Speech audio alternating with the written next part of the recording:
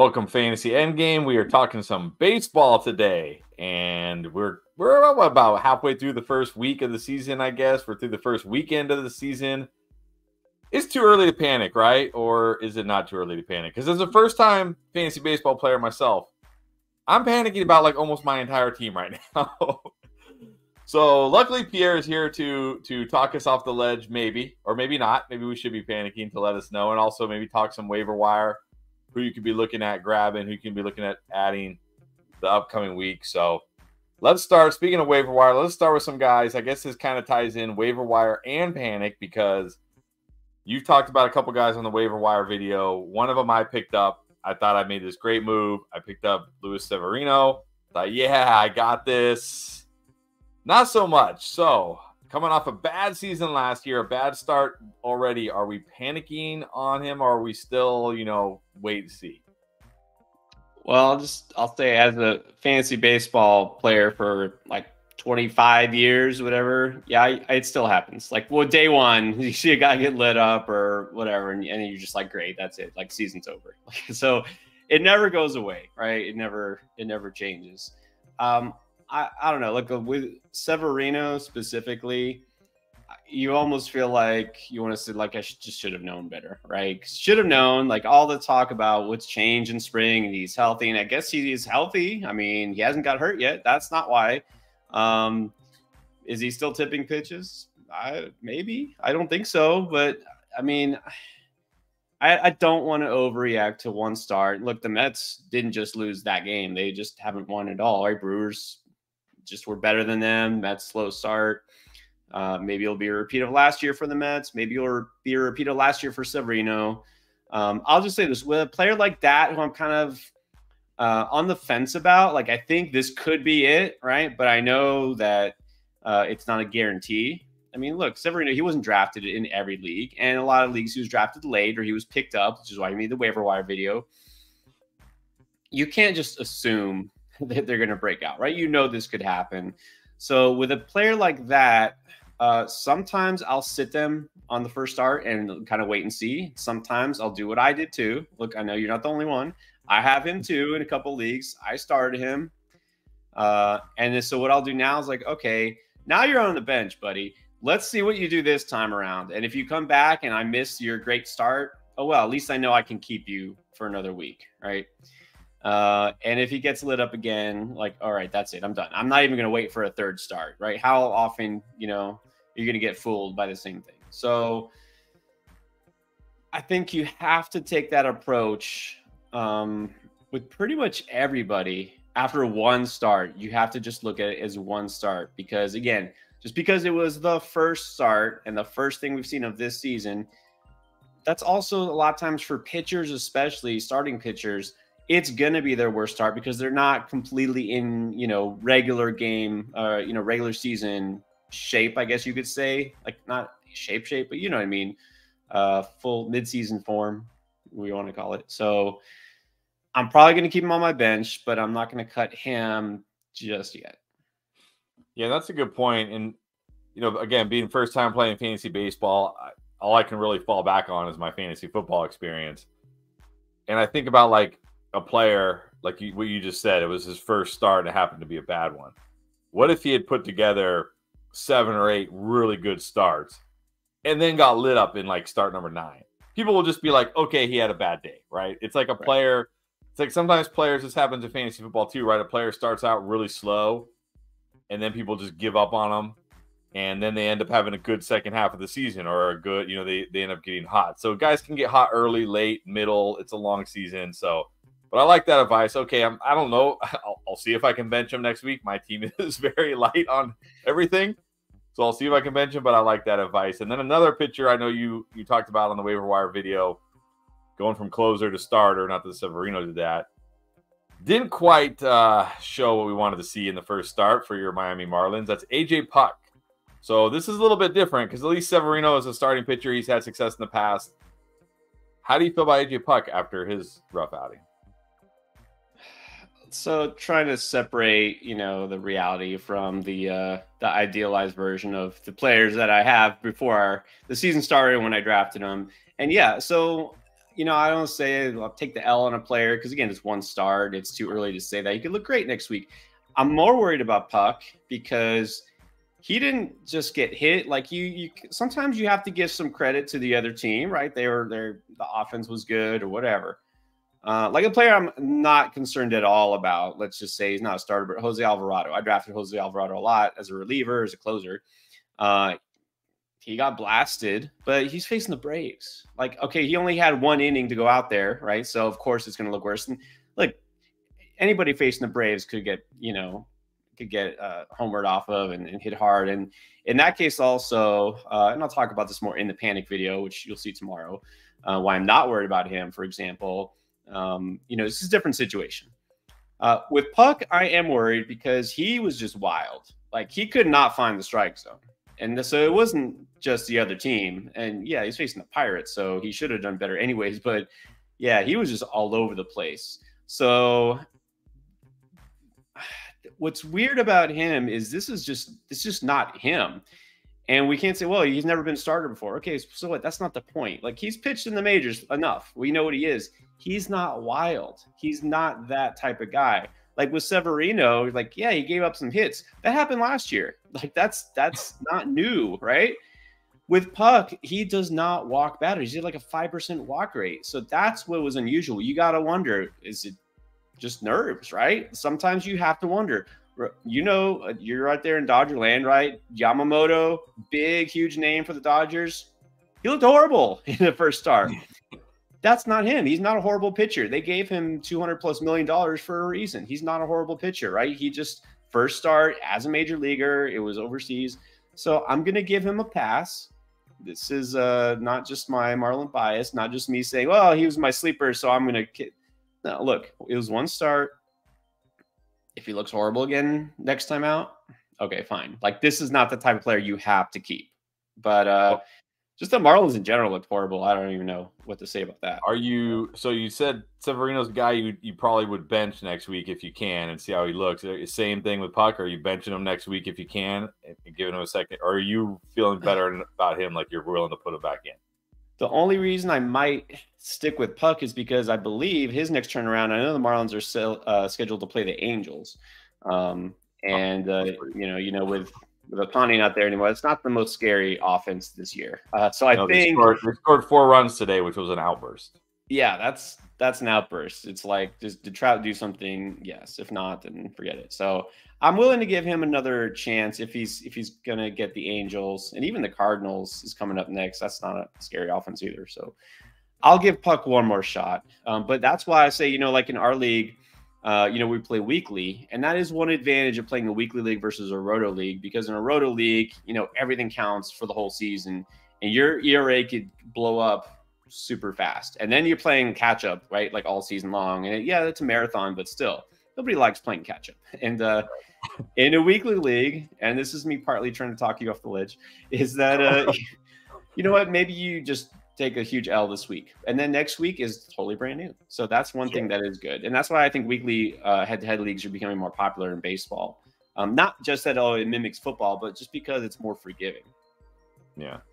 Well, speaking of taking the big L, uh, let's talk about a, a guy who is, I guess, a well was supposed to be a closer, but maybe isn't the closer, and maybe isn't even any good.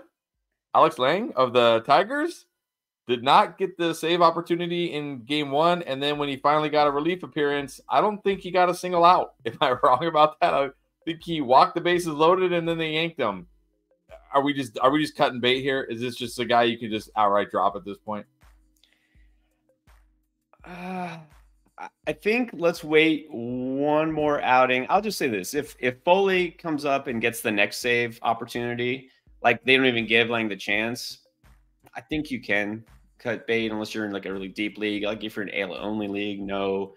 Um, kind of worried that maybe that whole situation was going to be uncertain or maybe a committee or like you know whoever. This is why in really deep deep deep leagues uh, in fact i'm in one league uh, call me insane but i'm in a reliever relief pitcher only league where that's it. That's all we play with is relief pitchers. that sounds horrible.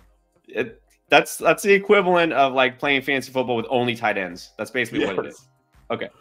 Um, and I drafted Shelby Miller, who were like, wait a minute, that Shelby? Yes, that's Shelby Miller because he's set up man with the Tigers. I could see him getting some saves this year. if Foley blows it and Lang blows it. But anyways, um, yeah, I hate to say you don't have to hold on to Lang right now, but I would wait just to be sure, right? Just to be sure. Um, but yeah, Foley could be the guy. Foley turned out to be the guy toward the end of last season, and we just assumed Lang would get the job back. And Lang, he was good this spring, so that kind of looked.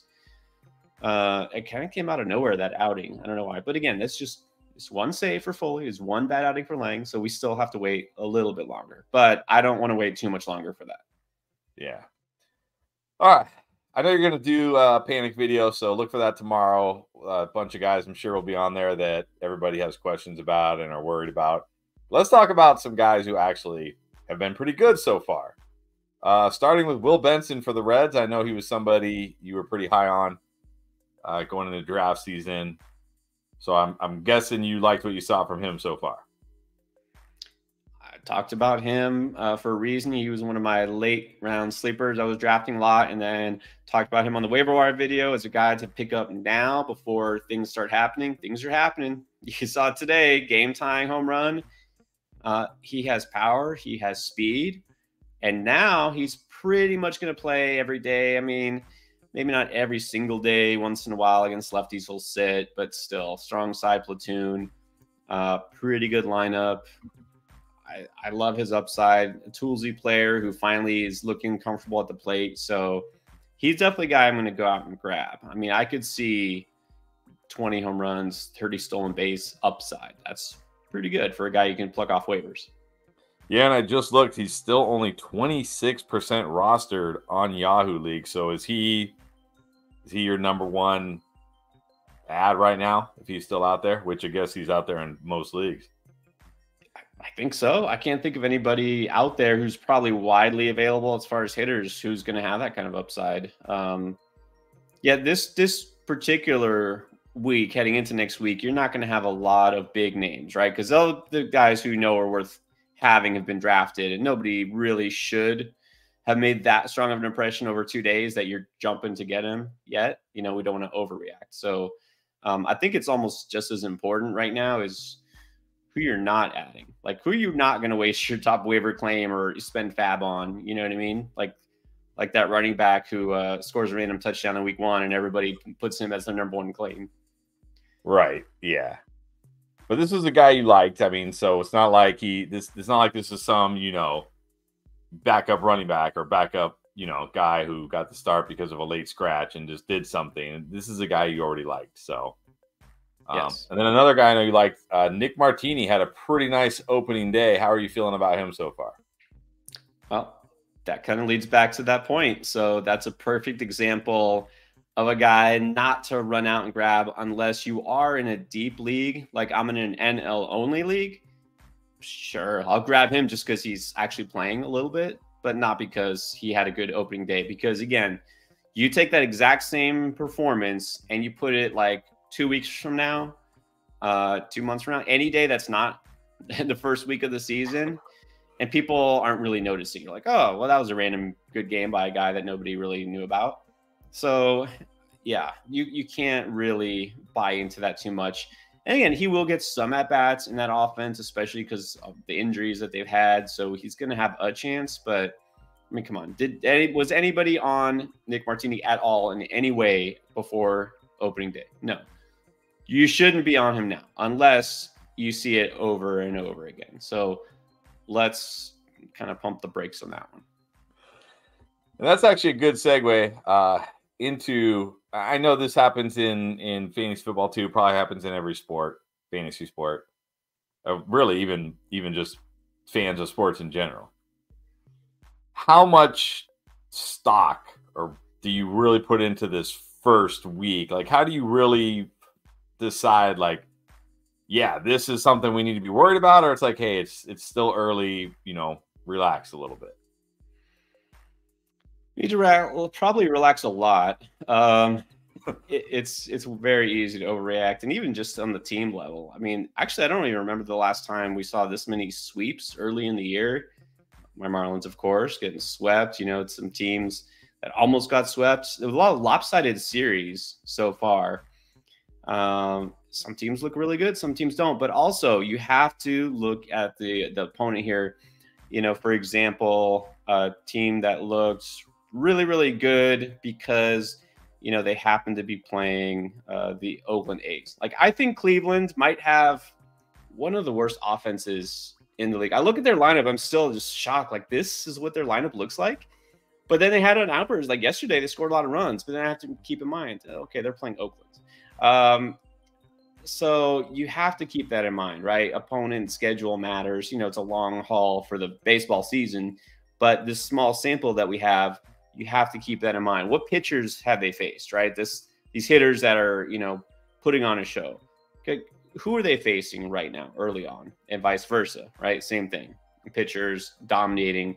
You know, Arizona is looking great, looking like they're ready to go back to the World Series they're playing the Rockies. Okay, like the Rockies are not going to be good this year. So like let's let's just play the slow game. It's a marathon, right? You have to always take a look at that. And actually, and before we get to uh, some of the questions we got from the viewers, you know, again, first year playing fantasy book football or fantasy baseball, I have questions. And one thing I was thinking about because I know football, like we spend all week looking at matchups, you know, how the defense is, whether it's the coverages they're going to use against the wide receivers, how good they are against the run, how much pressure they get on quarterbacks, all sorts of stuff. How much of that comes into play in fantasy baseball? Like, how much are you looking at, like, oh, this pitcher is going against the Braves, like you said, and maybe I don't want to play him, or oh, this pitcher gets the Angels. I'm getting, even though he might not be a very good pitcher, I might I might stream him this week. Like, how much does that play? And the same with hitters too. Same with hitters. If they're playing against like a dominant pitcher, do you you know do you think about that? That's a great question. That's a million dollar question, right? So when do you decide how much the matchup matters, if it matters? When you have somebody who is like, okay, let's start with pitchers, like starting pitchers. Um, because for the most part, closers, relievers, you just kind of keep in there, right? You just don't worry about it. Matchup, you know, doesn't matter as much. But for like a starting pitcher, if it's a stud starting pitcher, one of your top two, three pitchers you're just going to leave them in, right? They should be good or at least not horrible against any team. When it gets to those fringe guys, right? Those number four, five, you know, the guys who you mix and match on the bench, those are more matchup dependent. Um, I a little bit more, I guess. Uh, I probably am not adverse to risk enough. I'm, I play a little too risky. I trust. I like to trust that I know that a player is going to be good. You know, if I if I have faith in him. Uh, so I'll only sit players if it's a really top end offense like Atlanta. You know, like I said.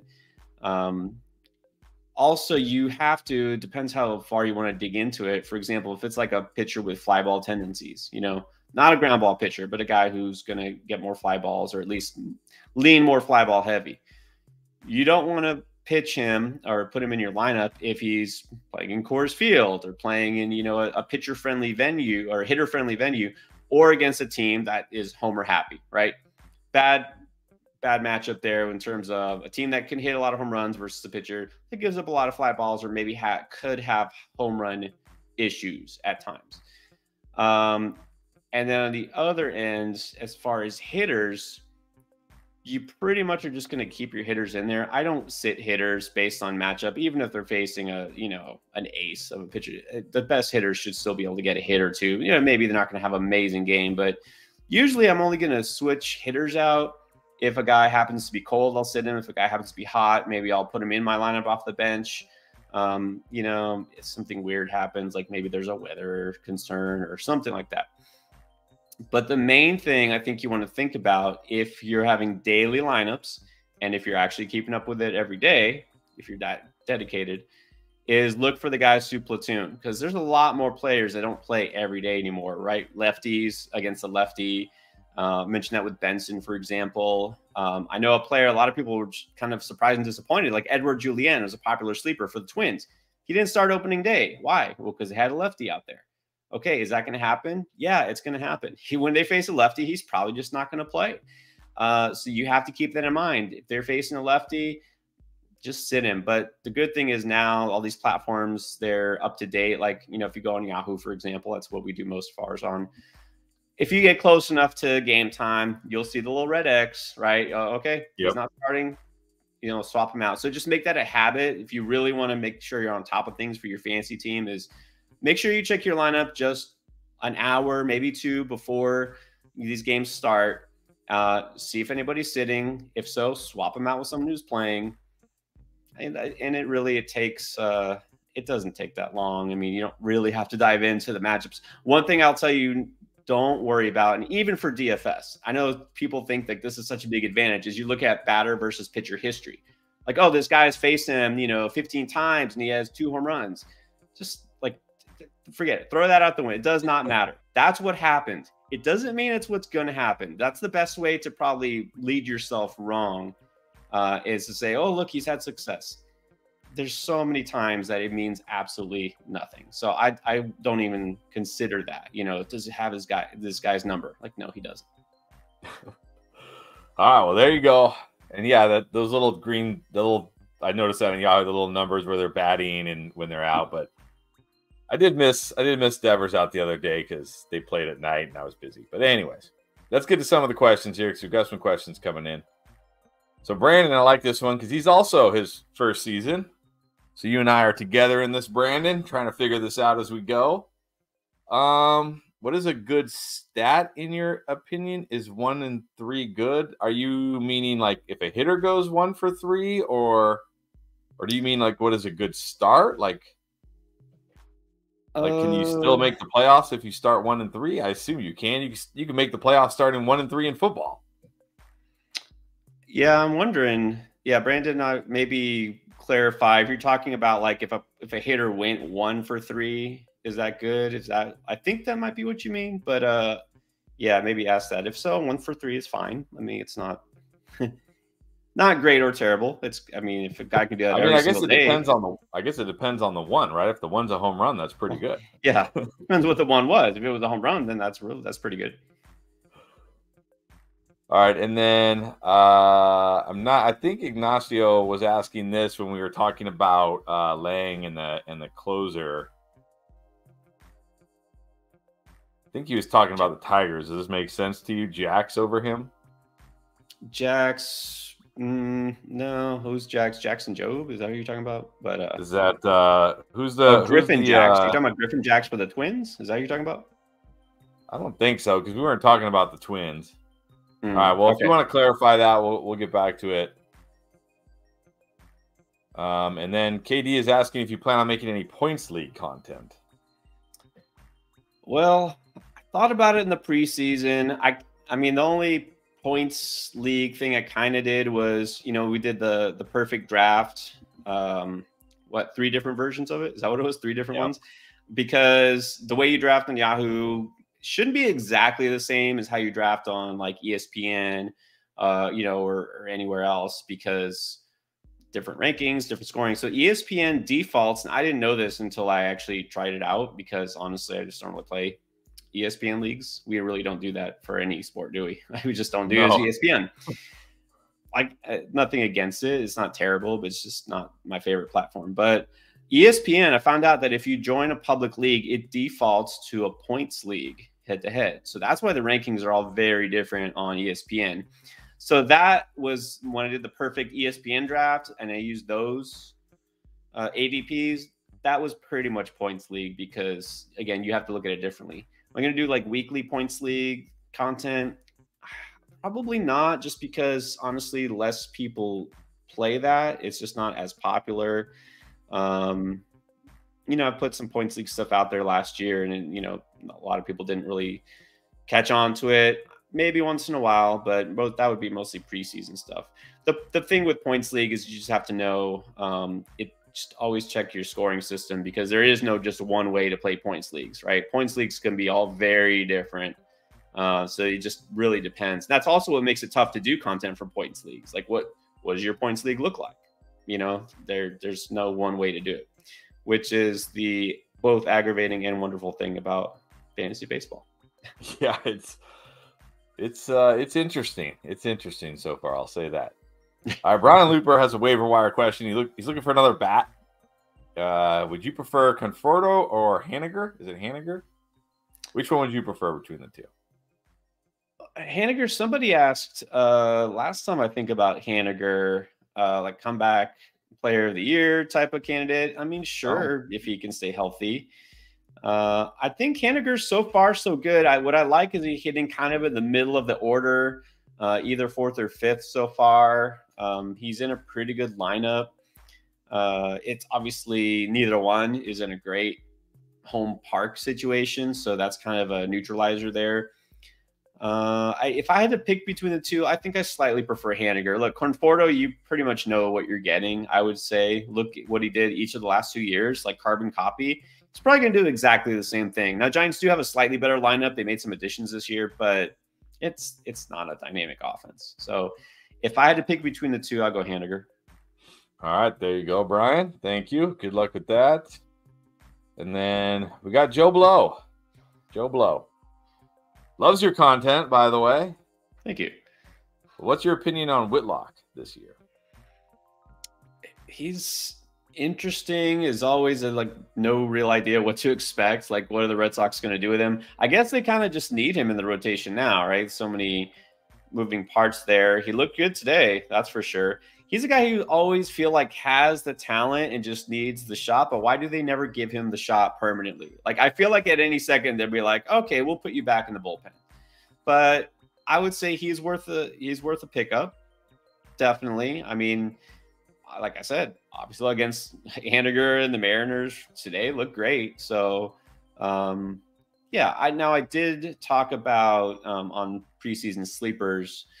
Um, you know, I talked a lot about Boston specifically, mainly on offense.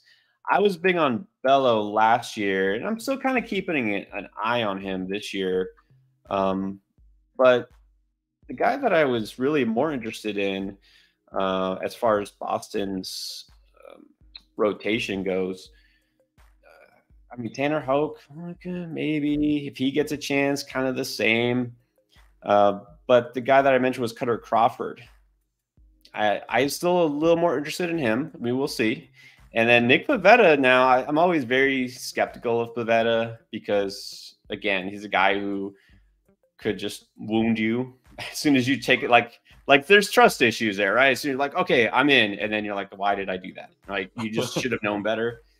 Apparently, he's at a new pitch. Apparently, he's looking really good. Like, maybe, maybe at some point, I'll just say, okay, fine like fine. But of course, he was actually drafted a lot this year, so I can't just pluck him off waivers. Um, but I'll say I like Kutter Crawford still. Uh, I'll reluctantly buy into Whitlock um, at this point. Um, yeah, let's. I'd like to see it once more, but of course, if you wait and he has another great star, well, guess what? Then everyone else is going to be on top of him. Exactly. All right. Now, speaking of early season's overreaction, what about the Yankees sweeping the Astros? Are, are, are, the Yankees that good?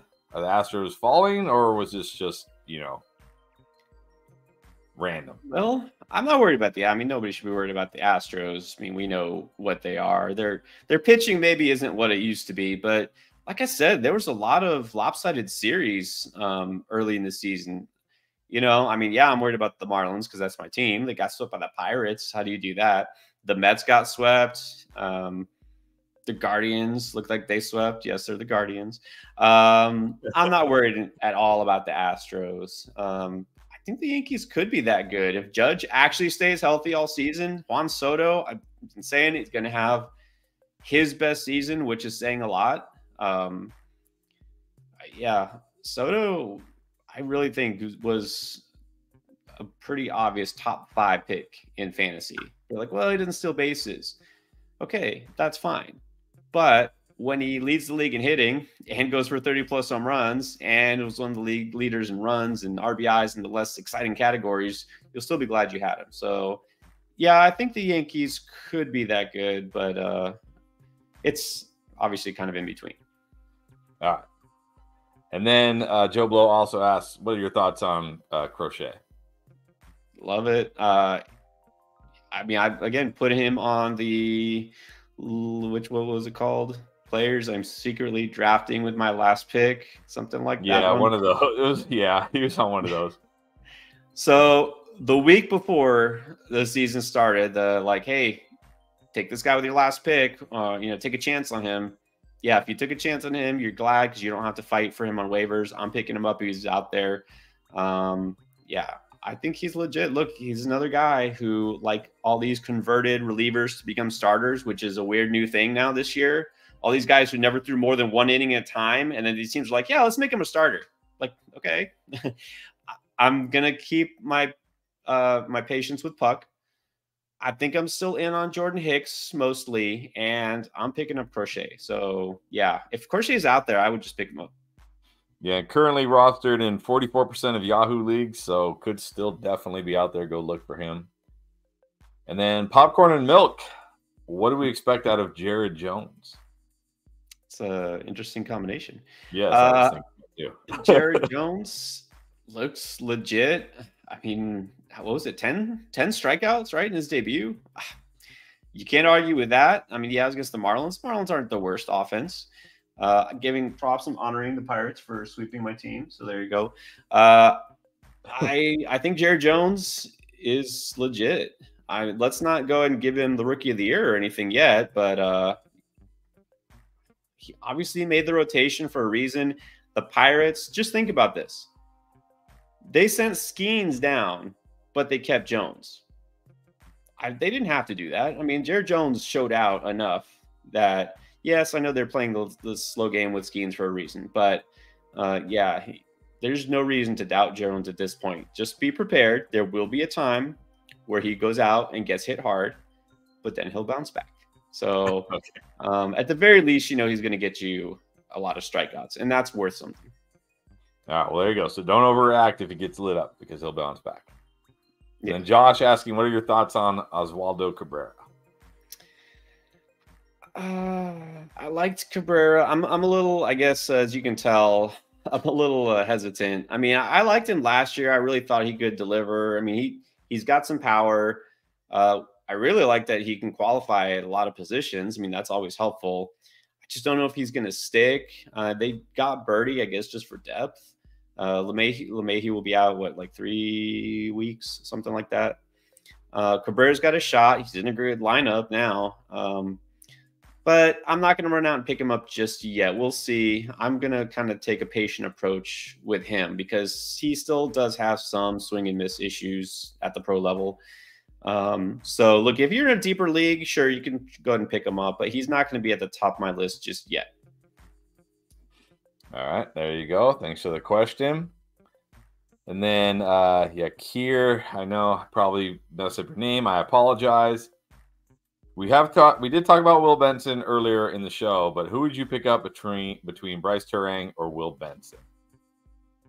It's going to be Benson, and uh, yeah, we talked about Benson at the very top. Obviously, Benson made the thumbnail. Uh, I'm telling you in very many non-subtle ways to pick up Will Benson. Uh, but besides that, yeah, Turang did have a nice game, but I'm still skeptical that Brewers infield. I just feel like they're one of those teams. They're going to do a lot of flip flopping. Um, you know, like Tyler Black got sent down. He's probably going to have to kind of bide his time. But Monasterio will come in sometimes. Wentz, I thought might be a good sneaky draft pick, but then he sat for somebody I honestly never heard of. Oliver Dunn was playing now. It's like I'm I'm probably gonna wait on Turang just because um, I, I need to see that it's gonna happen more consistently. But either besides that, either way, I'm still picking up Benson just because I love Benson. All right, there you go. Thank you, and again, apologies for probably butchering your name. I'm sure I did. My apologies. Uh, Ober was lit up today, so Rocky, we got our first uh, our first um, celebrity cameo. Rocky Balboa in the house. What's up, champ? Uh, Ober was lit up today, and oh, my ERA and WHIP have skyrocketed. That's how I felt after uh, who was it? My uh, Severino, because I didn't have anybody. I didn't have anybody pitch like the first two days or whatever. And then finally, I had Severino pitch, and oh, hey, look at that! I had like a 15 ERA and like an eight whip or something, whatever it was. It's like, ah, oh, yeah, sweet. Isn't that the best when you see like one player just basically just destroyed your entire? This week. is like what's so weird for me for fantasy baseball so far, and I know everybody on here is probably like totally used to this, but you know, fantasy football, it's like it's basically one day and it's over, right? I mean, maybe you're like, hey, Monday, uh, you got the Thursday night game, but then maybe Monday, you know, Monday night, maybe you have some players. Here I'm like, okay, I've I've had two days of fantasy baseball and I haven't had a single pitch thrown on my team. Not one guy has pitched a pitch, like throwing a single pitch. Like I have no stats. Like what is this? So weird. So it's gonna take a little getting used to there. And then of course the first guy that pitches Severino gets lit up, and I'm like, oh, maybe it was better when I had nobody pitching. It was better when I just had zeros. Sometimes, yeah. Sometimes you're like, why didn't I just bench everybody? Sometimes you feel like that, but yeah, uh, like if you had Ober, then forget it. Like he he was definitely. We're talking about the worst of the worst. Obviously, right now he's he's holds the throne for the worst outings. Um, and I was I was buying in. Like I wasn't on him. I tell you, you know, there's always, and I say this because like on social media, and you know, I everything I read and look at, I'm in tune with all the, the sites and the fancy analysts, right? Industry people and I feel like Ober was one of like the biggest darlings of like the fantasy industry. Um, like not a big like pub name, you know, from like the major outlets, but like the insiders and the experts and the analysts, wherever everyone's just like all over Bailey Ober. So I was kind of halfway there. Like, yeah, I see it, but I'm not jumping over him. I didn't really hype him up too much in the preseason or anything. Like, yeah, okay. But I know there was one video where like, yeah, I take a chance on Ober. Um, yeah, that that really makes you regret things if you head over. Um, hey, Zach Eflin got lit up too, and that was that because Toronto's offense is just really good. Maybe is Zach Eflin suddenly bad? I don't think so. Ober, I think I'm more worried about than Eflin because Ober, he's not really a like stuff kind of guy in terms of pitcher. Like he's he's not overly impressive. He's just gonna need to get by with his command, and yeah, he he didn't. He sure didn't. Um, yeah, skyrocketing in a bad way, right? Skyrocketing we usually yeah. think is good, and it's it's definitely not good. So you have to wait on Ober. I don't know what went on with him, but let's let's hope for better times ahead. The worst part, I think, was that he got lit up by the Royals. I think that's the worst part. Not good. Not good. All right, Josh saying Brian Hayes and Yelich comeback players. I mean, Yelich wasn't doesn't have much to come back from. He wasn't he wasn't too bad last year. Um, I mean, come back like to MVP form, no, but yeah, he's he is what he is. Hayes, I don't know. People are interested in Hayes. I'll tell you what, Hayes, I think is just he's okay. Like he's just he's okay. I, he's not bad, but he's not great. Like he'll hit for like 270 ish, maybe 280 average. Maybe he can get 20 home runs, steal you a few bases like he's he's okay. He's like uh, what, what do they call it? Uh, mid, kind of mid. Yeah, mid. exact kind of guys I don't like in fantasy. Right. All right, Zip Zach, what are your thoughts on Reid Detmers? Uh, Reid Detmers is another guy who I feel like I was too high on last year and kind of let me down. Didn't take the step forward that I wanted uh, which basically describes Griffin Canning every year. And now that's that's a total like just I blame myself every time I fall for Griffin Canning. It's just I'm no one to blame but myself for actually believing this year would be different, right? It's like Lucy with the football. It's like yeah. Yeah. This time she's gonna hold it. Don't worry. Yeah. No, I'm done. Griffin can't just forget it. I'm dropping Griffin Canning. Um, Reid Detmers, again, I'm like, I, I need to be probably skeptical, more skeptical than I want to be.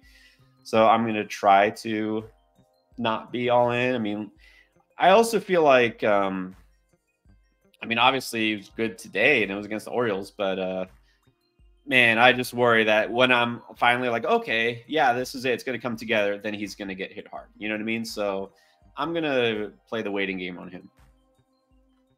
All right, and then Steve Yeager. I think doesn't Steve join? Don't you join? Doesn't he join us for football as well? I recognize Steve. I feel like I feel like he's with us for football. Yeah, well, maybe I'm wrong, but I feel like you are, Steve. But maybe not. Anyways, but has Arenado got his first hit yet? He has not. I just checked. Uh, over three. That's uh, what's up with him. I don't know. I really thought this year would be different. I mean, obviously it's early. Three games is a little too soon to to write off a, a guy who makes the All Star team every year, but I really thought he would get off to a better start this year. Um, maybe he just is just not a, a fan of spring. I don't know. I don't know. Um, maybe, I wouldn't worry. It's allergy. Yeah, there you go. It's it's the, the pollen. Um, yeah. look, and they're they're playing the Dodgers. I mean, he's it's too early to panic on him. Obviously, he's a guy. I think we we've seen enough from him of his career that we're not going to be worried. So I would just say, just hold tight. Look, if another bad week or two, maybe he becomes a, a buy low candidate. So I wouldn't worry. All right, there you go. He doesn't have a hit, but don't worry. All right, Scott. Uh, head to head, had his catcher Murphy go to the IL. Needs a replacement out of Melendez, Alvarez, or is it Heim? Heim? Heim. Yeah, I think it's supposed to be E I M, but it doesn't matter. Um, hey, you got some good choices there. I thought you. I mean, a lot of people just automatically just pivot to d'Arnaud, which is fine. I like Alvarez. I mean, the power upside is just so tangible. I mean, we've seen it already. He actually off to kind of a good start. You know, you're not getting a great batting average, but I think he'll make up for the power. I think Heim is fine. I worry that he's going to play less than Alvarez in terms of seating time, you know, at catcher. So the Melendez is another player. Just kind of feel like I keep waiting, you know, you keep waiting for it to happen. And like, I think he just is what he is, right? I don't think maybe there just isn't another level to his game. Like, this is it. Like, you know, oh, he's going to enter his prime. And no, I think that's just what he is. So I like Alvarez. All right, there you go. Alvarez, Alvarez, it is. Hope you get him. Uh, Popcorn and Milk, just real quick, said he started the season with 17 innings and only one earned run, and now he's at 22 innings with 19 earned runs. That's uh, that hurts. Yeah, sounds like a Bailey Ober owner to me.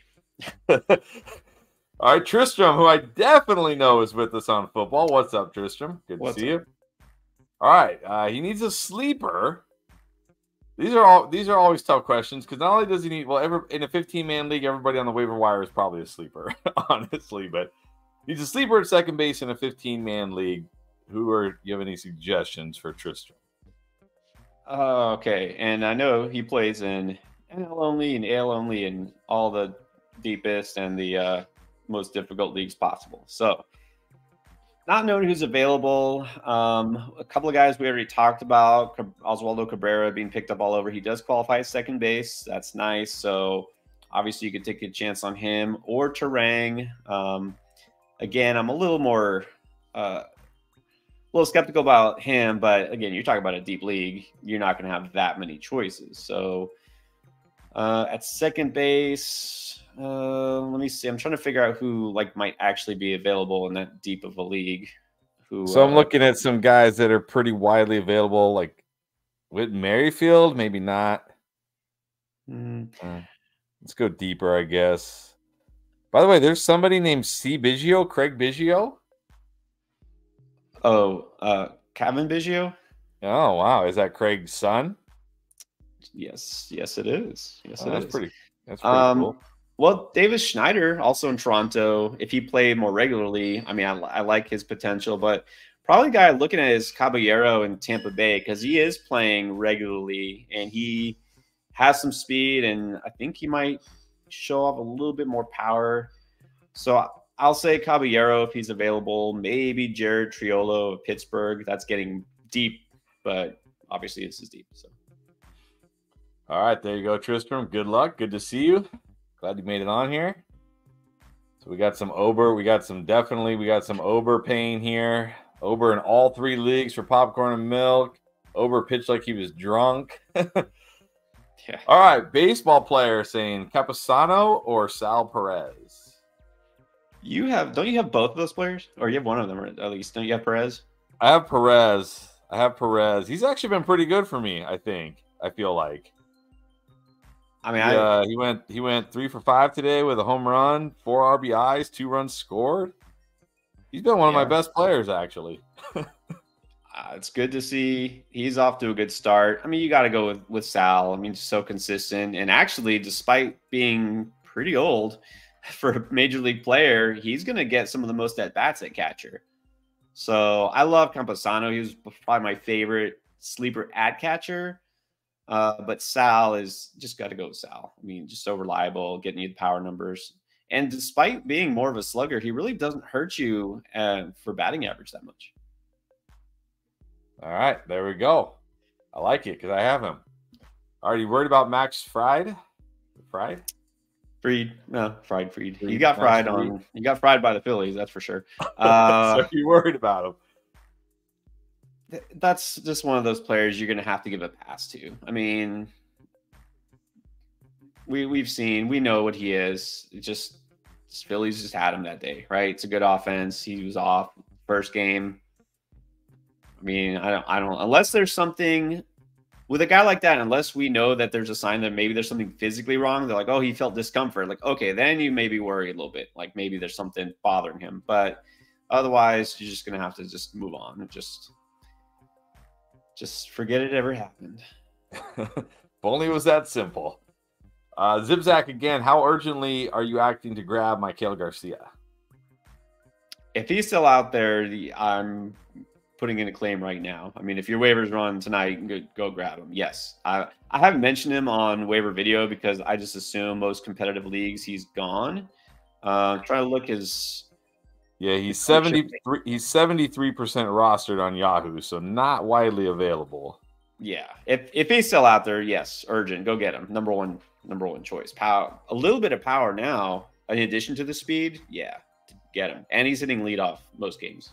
All right, you say number one waiver wire, but should you also be running to grab to the waiver wire to grab Jared Jones? Uh, I think you can walk. You don't have to run. okay. Uh, again, I, am not going to say oh, rookie of the year. Uh, look, he had some strikeouts, but again, it was the Marlins, not the greatest offense, and um, there will be a time where he does get hit hard. He's a rookie pitcher. That's just what happens. So um, I think you can grab him. Just again, you always have to kind of temper expectations with rookie pitchers. I don't care how talented they are. I don't care how good they look in an outing or two. Uh, I could go back even just last year and some of the best young pitchers and just mention some times where they got lit. So.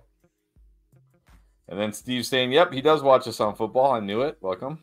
There you go. Uh, Rocky Balboa again saying Ruiz has been demoted to the bench should he keep him for steals or just bait? Uh, I mean, I, I don't know if I could say he got demoted. He's probably platooning now because they want to look today. He let off and he, he had four at bats. So he's not, he didn't really get demoted or anything.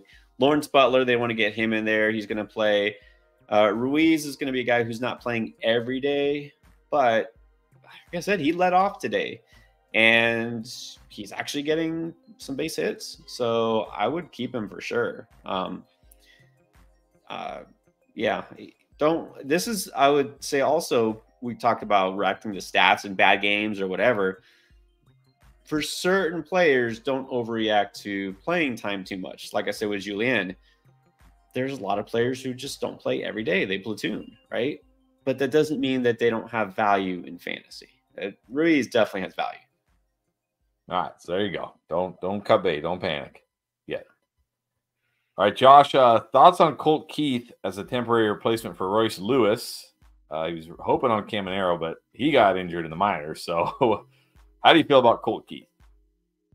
I like Keith. He's a guy I didn't bang the drum too loudly for, just because he might be someone who's slightly better in real life than fantasy, um, not as toolsy, and I don't just don't know if he has a ton of power upside, um, and he's not really a base stealer. So I think he he'll he'll be a guy who can get you by the position, if you know what I mean. I think he'll be fine. He'll be he'll be pretty solid. I think his he will have better days to come. Um, but yeah, for a temporary replacement, and again with Royce Lewis, temporary. Um, Right now, we're probably looking at a month minimum. That's what I heard. So uh, just be prepared.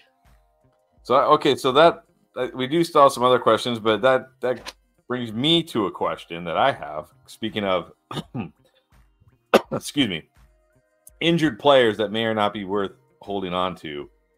Uh, Matt McLain is on the 60 day injured list. Like, it, what what is the cutoff for you where you're like, nah, I don't I don't need to hold this guy anymore and and take up a roster spot, especially for a team like mine where every IL spot is full, and I still have guys that I can't even put in IL spots that are you know what I mean. I have guys I can put in IL, but my IL spots are full. like, are you holding guys like Matt McLain in that that are you know on the long term disabled list, like sorry, injured list, I guess is what they call it now, um, or do you just say nah, it's, it's not worth it? Yeah, I mean, you you hit it exactly. It it all depends. What is your what does your team look like? Do you have every IL spot already taken? Yes. If so, then a guy like that, you probably can just cut and move on. Like if you had Gerrit Cole, obviously if you have him, you drafted him. So you already knew what you were getting into pretty much. Gerrit Cole, you stash. And if it takes two, three months, you wait two, three months. I mean, Matt McLain, when he plays, yeah, could be one of the better second basemen in the game, but shoulder surgery. And then they said, we hope to have him back this season. Uh, that's not what you want to hear. So I hate to say it, Chris, but you could probably just cut him. All right. Okay. I probably I probably will, but I have to wait, so I can't. I don't have any waiver claims left because my whole team was on IL and I had to make a bunch of moves. All right, 127 EMH has a couple questions, and just for the record, this is a 12 team league. He wanted us to know that. So, uh, how do you feel about Julien at second base? I'm gonna I'm gonna keep the faith with him because again, he will at least see the strong side of the platoon. He's got power upside. I, I guess I'm not really expecting a breakout, you know, in terms of season, if you want to call it that. Um, but look, he is when he does play, he does hit near the top of the lineup. Um, at least I think he will going forward. They're going to need him even more now. Royce Lewis out, like we just mentioned. Gonna, you know, someone else gonna have to step up. So the lineup has to shift a little bit. Obviously, that's not good for the Twins' offense, but there's definitely a path for him. So I would say I still like julien All right. And then he also asked, should Rafaela be rostered or just wait? He can be. Uh, he's off to a decent start too. We know he's definitely uh, someone who can steal some bases, and I like that he can slot in multiple positions too. So not a must own, but I think definitely somebody who who could be rostered. Uh, just depends. Like if you're picking him up, who are you dropping for him? But yeah, I think definitely worth worth keeping. Always the question you got to ask: Who are you dropping for him? unless it's somebody like a mustache. All right, then we got the D Lock 23 Pacheco, Isaiah Pacheco, Garcia or Hoskins. If you had to choose. Um, if it's Maikel Garcia, then I'm gonna go with him. I like him better. I mean, Hoskins obviously got good power. Um, I still prefer Garcia If it's Avisail Garcia, I'm gonna have to pass, and I'll say Hoskins, but uh, I'm assuming you mean Maikel Garcia. All right, and then I definitely like this question because I also have Jackson Holliday. So, Captain, who's in my NA spot, uh, Captain Tricky asking thoughts on Jackson Holliday. Should I include him in a trade or keep him for when he gets the call? You know what? That's uh, that's a very tricky question. Actually, that's that's a good one. All right. What do you do with the guy who is the top prospects in all of baseball, at least according to some, and is just sitting in the minors waiting? Um, they can't keep him down forever, can they? I, I don't know. I, don't know. I mean, they could. For the sake of my fantasy baseball team, I hope not. I mean, I don't see it happening. I'm gonna, I'm gonna assume May, early June at the latest, we have to see him up. I just think we have to. So I'm to say right now, if you if you're trading him right now, you're probably selling low um, because once he does get the call, yeah, you're either going to be glad that you have him or you can get a lot more for him. So I think you're just going to have to keep him um, because I doubt anybody's going to overpay for a guy who right now is not helping them. So, and again, I'm assuming this, of course, is a redraft league, but um, yeah, just hold, hold, and uh, wait till his value shoots up. Hold and hope, Captain Tricky. We can hold and hope together. Hopefully, he gets the call sooner, sooner rather than later. And then uh, D Lock was yes, it was Maikel Garcia, so definitely grab him. Uh, Timmy Tam, is there any chance of Spencer Jones being called up this season? Is he worth a stash? I mean, look, they have Giancarlo Stanton. Uh, there's obviously a very good chance that uh, that he gets called up because he or Aaron Judge could get hurt at any moment. So Yeah, I think there's a decent chance. I don't know if he's worth stashing if it's not a deep league. Like it depends if you got multiple NA spots. Like, um, by the way, Tris, I see you forcing the James Wood reference in there. Uh, just an excuse to mention him. I stashed James Wood, by the way, in one of our leagues, which I'm shocked that you didn't. But um, with Spencer Jones, I don't know these guys worth stashing right now. Uh, I don't see him getting the call anytime soon. I know he looked good this spring. I know he's a good prospect, but I think Yankees, especially, they're off to such a good start. He's probably not getting the call until at least the second half of the season, unless they just have multiple multiple injuries. So um, probably not yet. All right, and then Birch uh, saying Helsley did not look sharp in the St. Louis game. Are we panicking? Are we worried? Uh, I wasn't even going to think to talk about him because again, we're talking about one outing for a reliever. Um, I did see, and again, I, I, take this all with a big, huge grain of salt. Uh, but Helsley, I think, and Gallegos, both velocity was down like one, two ticks in one inning or whatever it was. It's like, no, I'm not going to worry yet. Um, like it's it's been three days, right? Four days. So uh, keep an eye. Like, don't just ignore it, right? If guy looks terrible, it, what what happens tomorrow if he goes out and looks terrible again? Okay, then I start to you know raise an eyebrow, but I'm not worried yet. All right, there you go. Not time to panic yet. And then 127 EMH also saying Littell. I know this is a guy you talked about in one of the uh, videos before the right before the season. You have him in your rotation, or is he more like a streamer? So this is a case where I outsmarted myself because uh, with him, and I saw this because I mentioned Zach Eflin, who again a lot of people, not just me, a lot of people had him as a like Cy Young dark horse. Like watch out, he could make have a huge breakthrough, you know, uh, and he got rocked.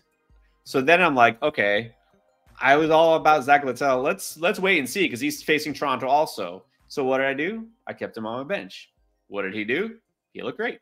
Uh, so like okay, I don't I'm not going to kick myself too hard for that, right? I don't I don't blame myself for thinking that he might get hit hard too. Um so I am going to have him in my rotation now because I'm like, okay, I was on him for a reason. Um he looked good against Toronto. He should look good again going forward. So I think right now I will put him in my rotation. Um, yeah.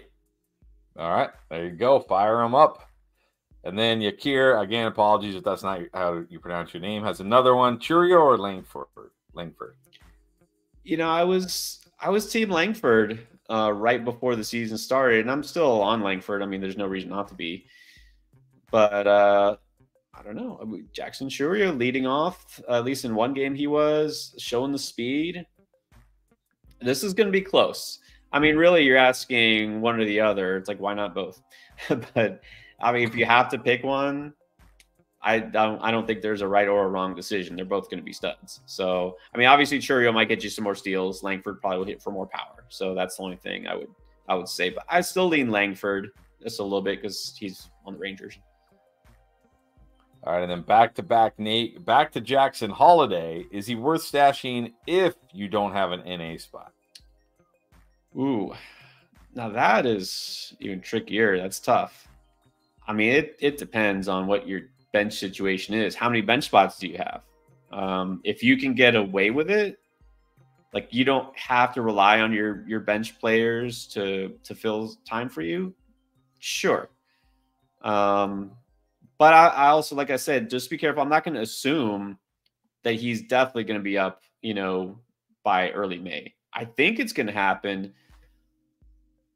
But uh yeah, you know, if, if you if it's gonna actively hurt you because you're missing games from position players because you don't have a bench player to put in there, cause, just because you're stashing Holliday, then I wouldn't do it. If you can afford to get away with it, then I would. All right. Uh, answer a lot of times is it depends, obviously.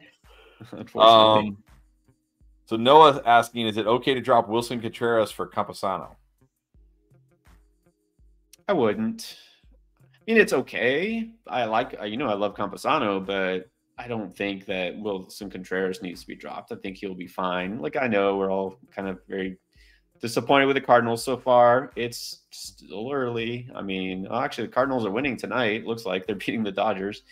Um, no, I like uh, Contreras fine. So, I mean, it's okay to do that. But again, you don't want to get carried away by the flashy new thing and forget, oh, yeah, Contreras has been like pretty good for the last few years.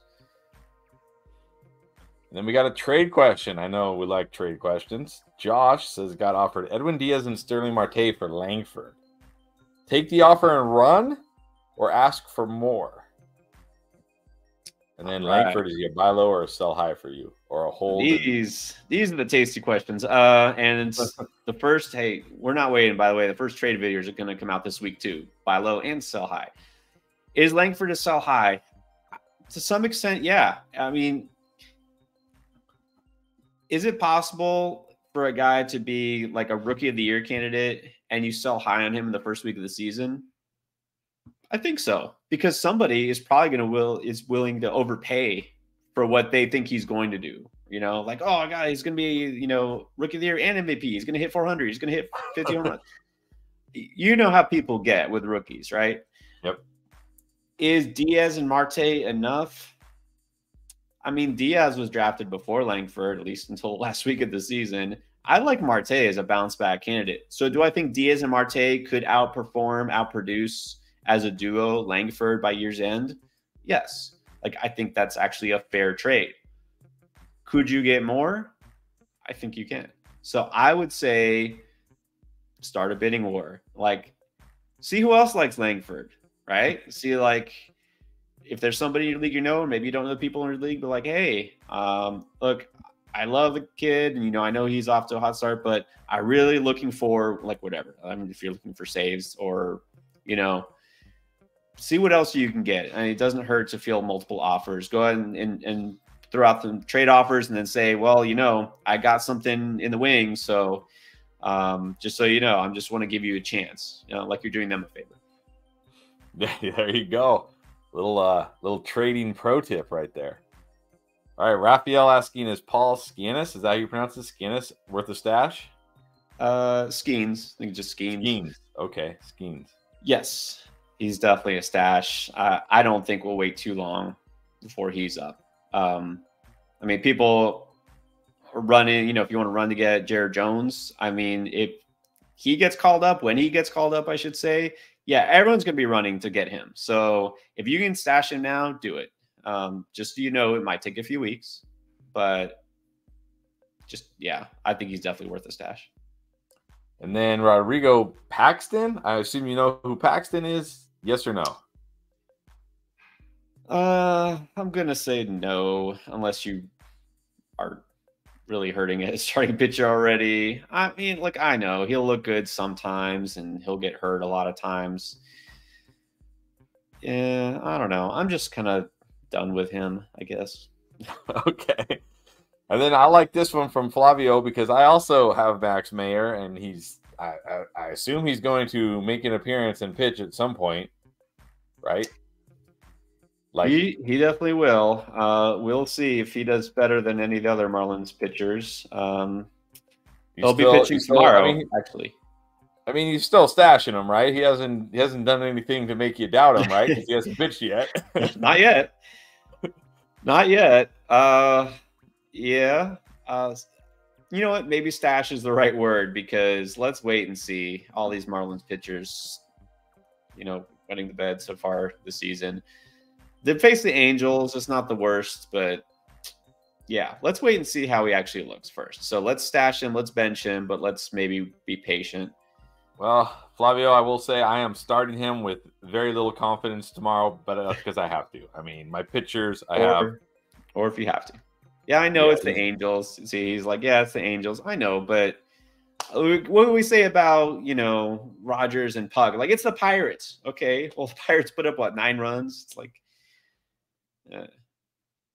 I mean, my other pitcher, I have IL, IL, IL, IL. Liter- literally, I have every healthy pitcher in my lineup, and everybody else is on the IL. So I have to start him. So I hope he does great tomorrow. Hey, you know, one guy I will say that did do great. I think you did talk about him on the waiver wire video was Jack Flaherty. Yeah, yeah, Flaherty. And look, that's a great uh, a great segue there because you talk about you know asking about Myers and uh, or Meyer and uh, Skenes and you know the rookies and the young pitchers get all the hype, but sometimes it's the boring older pitchers. And he's not even old, but you know some of the times these guys who are ready for a bounce back season are the ones who just need to stay healthy or whatever. Like I know it didn't quite work out with Severino in his first start. It might still. Flaherty's another guy. It's like, hey, take a chance, right? Maybe he actually stays healthy this year. Maybe actually is consistently good. We'll see. But that's a, a good example of a guy who could have a bounce back season. So it doesn't always have to be the young pitcher. You know, speaking of another old guy that you like that I grabbed, JD Davis has been pretty good for me. He's got a hit in every game, two home runs. Not bad. Exactly. Not a boring veteran, right? Completely boring on a horrible team, terrible offensive context. But he knows how to hit, right? He just can't play defense and, you know, uh, that doesn't always put it together because he has some injury history too. But I, am telling you, JD Davis, one of those really boring late sleepers that you plug in your lineup, like, hey, he's actually hitting. Like, how do he wind up with, you know, 25 home runs?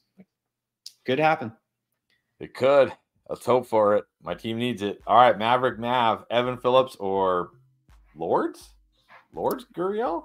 Gurriel. Well, those are very different types of players. Uh, Evan Phillips, you're asking like because I'm I'm assuming oh, he's, he's, asking. So he's saying who'd win that trade, Evan Phillips okay. or Lourdes? I was gonna say that can't be a waiver wire question. Like, there's no way he's not rostered. Okay. Um, who wins that trade? What, what do you need? You need, I mean, you got a, a closer versus a hitter. So if you, I would just say straight up, look, we know Phillips uh, is a solid, not amazing, but solid closer, should be fine. He was drafted probably higher than Gurriel. I would say in a vacuum, Phillips. I like Gurriel, um, but I think you could probably get something better for a guy like Phillips. So uh, probably Phillips, but it really just depends on need. Um, I think it's almost fair. Almost fair. Almost fair. All right, then Rodrigo, uh, are you adding Mackenzie Gore and drop? So is it a good idea to add Mackenzie Gore and drop Canning?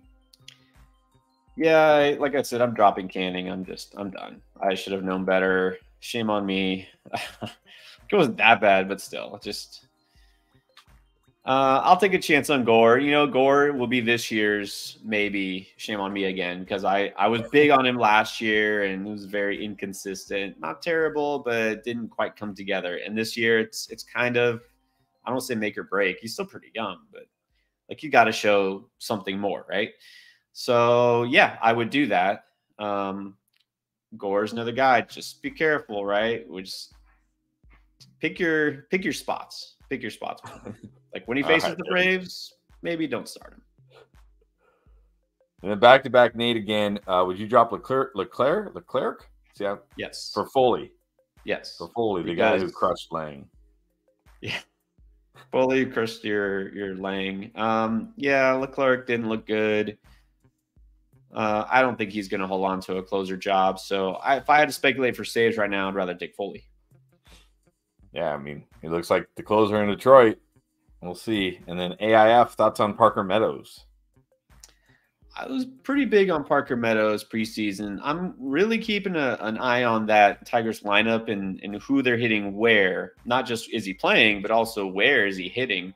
Um, because I thought most, you know, most games that you know when they're facing right, he was going to be the leadoff hitter. and He did lead off today. Um, but I think he might bounce around a little bit too. Sometimes he might drop to the bottom of the order, but I still like Meadows overall. I think he's definitely a, a solid pickup if he's available. All right, then 127 EMH with another one. Do you have a reliever for a hold saves league that's kind of waiting in the wings that you have your eye on, or relievers? There are. Oh, it's a hold and saves league. Okay. Uh, there are always very many closers that I got my eye on. As far as who's available, um, I mean that depends because you're saying you're in a, a, league that uses hold and saves. Probably a lot of relievers that might be available in most leagues aren't in yours. So it depends how deep you're getting. Like I mentioned Shelby Miller early. That's pretty deep, right? Nobody's really on Shelby Miller, especially as a potential uh, closer, but he's someone I think could take the job eventually from Foley, right? If Foley takes the job from Lange, which maybe he already has. Uh, how much deeper do we want to get? Hector Neris, I think, is already is probably rostered in a hold save league, he's somebody who is probably going to get some saves and some holds. Uh, so he's somebody. I mean, Aroldis Chapman seems obvious, even though he's not the closer. He could get into that role. Anybody in Tampa, but especially Jason Adam, he's somebody who probably is already rostered in your league. Uh, again, let's see how deep. How deep do we get here? in Miami, um, if Tanner Scott either gets hurt or fails, Anthony Bender Bender is a guy who's kind of in the mix for the closer role two years ago. He's had some injuries. He's pretty effective uh, when given the chance. So Bender is a deeper name, but somebody who could be waiting in the wings. All right, there you go. And then J. Cole said he used his number one waiver on ruined, but not ruined, but maybe he ruined it uh, on Uribe. okay. Is that bad? Did he make a mistake? I don't think so.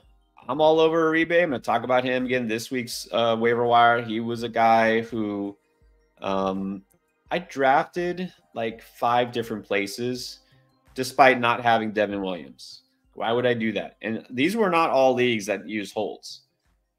I drafted him in case what happened happened, and it happened before the season. Like I swear, I didn't didn't know this was going to happen with Devin Williams, but like I I do feel like I got lucky, but I also feel like I knew if something happened to Devin Williams, Uribe was going to be the guy. I don't know why people are like, oh Megill or, or Payamps. Like, why? Why?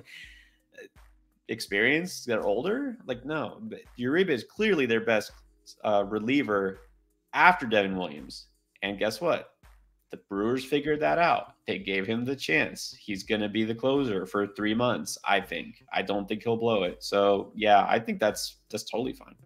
All right, there you go. You can feel good about it. And then TD Meeks, start Bowden Francis tomorrow or wait and see. Oh man, I I'm probably gonna wait. He uh, did mention him as one of those lotto ticket type of last picks, and I did draft him in two leagues, not too much. But what is it? Houston, right? They're playing Houston. Like, nah, I'm I'm gonna wait. All right. There you go. And it looks like we are pretty much all caught up. 127 EMH saying thank you. Appreciate, appreciate you guys. Don't forget, waiver wire videos out there. I think there's probably some guys on there that are still available on the waiver wire that we didn't talk about tonight. We got panic video coming. Uh, what else? Trade videos. What else we got coming, Pierre? That's right. Every week you can do a buy low, sell high, players to trade, players not to drop, The reverse panic. Uh, we're to do who should you be panicking about, who should you not, and then again, sometimes it's best to to play the waiting game and just be patient. So I'll, I'll tell you some players not to not to worry about, and we do more live streams, of course, as well. Try to do more uh, that we can, and try something new this year. We do this for football. It uh, not only was it popular, but I like to say I think it works pretty well because we nailed some players uh, that is like a pre waiver wire, right? Because waiver wire is like, hey, pick these guys up now. But sometimes you got to pick up a player before everybody else knows about them. So beat the breakout is going to come out. It's like, hey, stash these guys. You want to know who to stash? I'll tell you who to stash. Very excited for that. I think that's I think that's one of the biggest edges in in just fantasy in general is getting ahead of the oh, waiver wire. Definitely. And then we had a couple questions under the gun here. Jay asking, what do you think about Andrew Abbott? Very risky. Gonna wait at least two weeks, see how he has, uh, you know, a couple of belt starts under his belt, and we'll see how he looks. Um, I'm gonna wait on Abbott. All right, and then Joseph says, is either Ben Brown or Brady Singer worth a look? Ben Brown, interesting, and then he got rocked. Uh, again, very short outing, but uh, gonna have to keep an eye on him. He would be a stash only at this point. Talented, but not experienced. Um, so Ben Brown, let's just keep an eye on for now. Brady Singer, another guy. Am I willing to get burned again? Um, Maybe look great. Uh, he's just so up and down, right? He's just one of those players you just don't know what to expect. So I, I'm going to consider him a streamer, right? If I feel like it's a plus matchup, you know, a, a team that I feel will play into his hands because he's a ground ball sinker type of pitcher, right? If, if I feel like he can get by with it, I'll stream him, but I'm not going to just make him part of my rotation. All right, there you go. Thank you, everybody. Appreciate it. Happy Easter to everybody being on here on uh, on this holiday. Appreciate you jumping on. Don't panic yet, unless Pierre says panic on the video tomorrow. Make sure you you check that out, the panic video tomorrow, and all the videos this week to help you out. And we'll be live as often as we can. So enjoy the rest of your weekend, and we'll see you next time.